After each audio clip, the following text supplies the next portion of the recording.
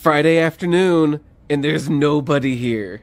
and, and I have an order here, and there's nobody to tell me, "Hmm, we shouldn't do that. So we're gonna do it. The theme to my order was all the small things. And it really is all the small things. You got all the mini stickers, more mini stickers, the buttons, and temporary tattoos. First, let's get your mini stickers.